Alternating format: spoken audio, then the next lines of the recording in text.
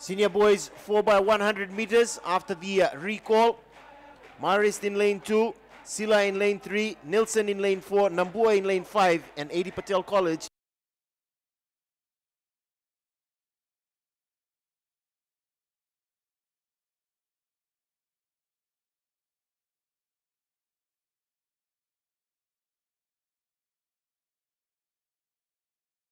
Maris making a move from uh, lane two, coming around the uh, bend. Maris will get a first change. Still in the lead is uh, AD Patel College in lane seven with a gap of uh, 15 meters. But Maris closing that gap, coming to the uh, third change. Maris will get the change first on the 200 meter mark, coming around the uh, bend. Maris have taken the lead. AD Patel College still in the lead. And third place is Nabua, the fourth and anchor runner. Maris with a crisp change. They get a smooth change.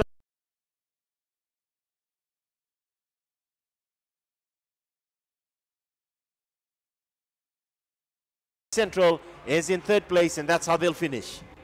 The final heat of the uh, senior boys 4 by 100 meters relay.